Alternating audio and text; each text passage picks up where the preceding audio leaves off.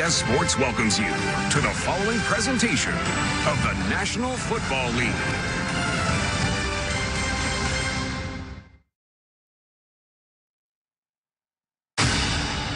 For 99 seasons, the National Football League has been a staple of our society. Some of sport's most iconic figures, lasting images, and memorable moments have taken place on the gridiron. The game has evolved into a global phenomenon. And here we go. Celebrating 100 years of the NFL. Pat Summerall here with John Madden. Today, we begin the 60th season of the NFL on CBS. This day is our day. The Saints, after two straight division titles, look to bounce back from two straight devastating playoff exits. With big-time playmakers, can New Orleans return to glory? The Chargers, a 12-win season a year ago, saw an end in disappointment as well. But like the Saints, are loaded with talent and high expectations. It's the Saints, the Chargers, and the 100th season of the National Football League. Welcome to Southern California, Sunday afternoon NFL action. That has a nice ring to it. It's week two of the preseason.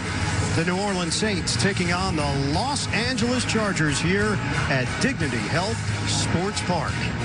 And welcome to the broadcast booth, everybody. Ian Eagle, along with the legend. Is it legend or legendary? Well, legend's good. Myth is not good.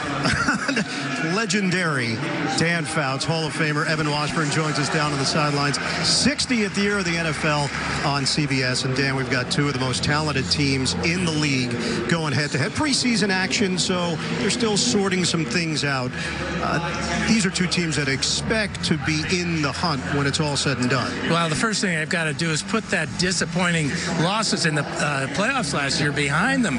But they're both told us yesterday they're going to use that as motivation. They're both determined to make those uh, expectations come true. Well, if you're the Chargers, you know that you've got a chance come playoff time if you've got Philip Rivers in a quarterback. Not going to play here, but Rivers is still looking like the guy that we've grown accustomed to through the years. He's 37, 16-year veteran, and he has the NFL's longest active consecutive game streak at 208 games. And yet he plays with the exuberance of a fresh-faced rookie, the true inspirational leader for this very talented Charger team. Chargers, though, were dealt a crushing blow earlier this week. Their all-pro safety, Derwin James, suffered a foot injury, stress fracture. He will have surgery in the coming week.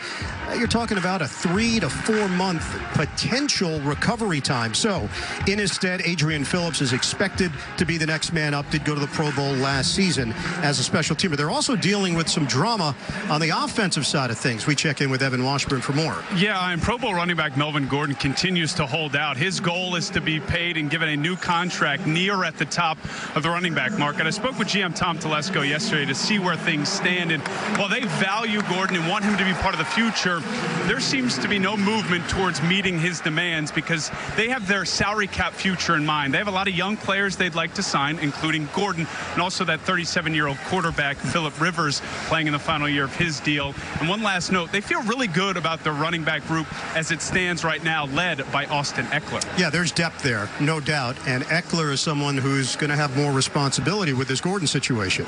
Well, he made the team two years ago by uh, some stellar play on special teams and some flashes on offense. He's the main guy now.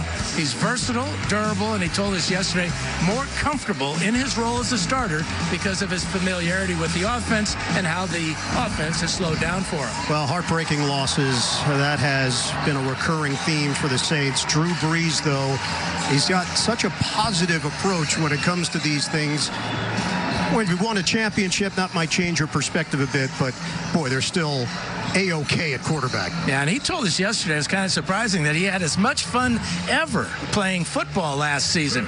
And that's saying something when you think about his Hall of Fame worthy career. Now in his 19th season, Brees shows no signs of slowing down, and he's excited to have so many talented teammates to work with. Alvin Kamara, coming into just his third season, has already established himself as one of the league's most versatile backs, and nobody has more catches in NFL history in his first years than wide receiver Michael Thomas. And the big tight end Jared Cook. Huge catch radius. His run after catch ability is very underrated. There will be plenty of options in the